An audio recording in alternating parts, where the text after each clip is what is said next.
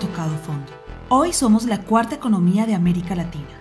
Somos miembros de la OCDE y socios globales de la OTAN. La pobreza es del 27%, pero ¿sabías que en 1999 era de 57,5%? En los últimos cuatro años han sido secuestradas 670 personas, algo muy grave, pero entre 2000 y 2004 el número ascendió a más de 6.000, una cifra escabrosa, la peor a nivel mundial. En 2019, 12.656 personas fueron asesinadas, muy doloroso, pero hace 20 años eran cerca de 30.000 homicidios al año y desde ese momento, año a año, ha venido bajando esta cifra.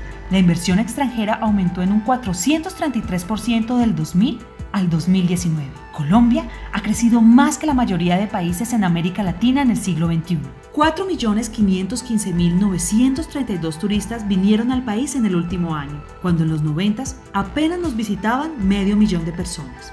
La inflación pasó del 16,7% en los años 90 al 3,1% en 2019. Hoy contamos con más de 5,8 millones de microempresas, cuando en 2004 apenas eran 587 mil. ¿Todavía crees que Colombia tocó fondo? Nos quieren meter cuentos y decirnos que Colombia hoy está peor que nunca. Pero en los años 90, Colombia era considerado un estado fallido. Sí, al mismo nivel de Somalia y Haití. 300 municipios no tenían autoridad policial. Millones de campesinos tuvieron que desplazarse a la ciudad por inseguridad y desempleo. ¿Y la libertad? La libertad solo existía donde el Estado podía llegar. En esos sitios en donde el Estado no llegaba, podían asesinarte por ser homosexual o por pensar distinto. El trabajo. El trabajo era para unos pocos afortunados. Y si vivías en un municipio apartado, tus sueños de estudiar eran truncados por grupos terroristas que intentarían reclutarte forzosamente. ¿Querías salir de la ciudad por carretera? No ibas a poder porque corrías el riesgo de ser secuestrado o asesinado. ¿Querías dedicarte al agro en tu finca a las afueras de la ciudad? La delincuencia no te iba a dejar llegar ni al primer peaje y tu finca seguramente quedaría en manos de criminales. No coman cuento de que estamos peor que nunca y que aquellos que secuestraron, asesinaron,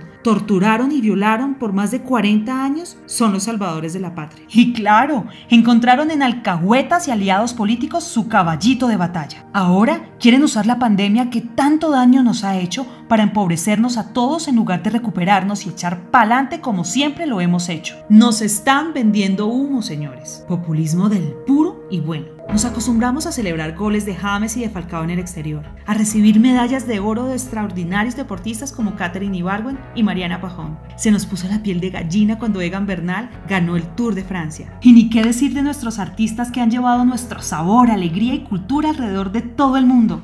Shakira, Carlos Vives, J Balvin, Maluma, Juanes, Sofía Vergara, Botero, entre tantos otros. Y esto es porque hoy el país ha recuperado su imagen y cientos de deportistas y artistas colombianos están dejando la bandera de Colombia en lo más alto en el extranjero. Esos que nos quieren vender este cuento chino tomaron ejemplo de Venezuela. Allá sí se comieron el cuento completico. Y hoy Venezuela es uno de los países más inseguros del mundo y la población en situación de pobreza supera el 60%. Los países que se comieron el cuento hoy son los países más censurados del mundo. Eritrea, Corea del Norte, Somalia, Irán, entre muchos otros. En mi país puedo bailar, puedo opinar, puedo decir qué me gusta y qué no me gusta. El cuento que nos quieren vender quiere devolvernos a los años 90.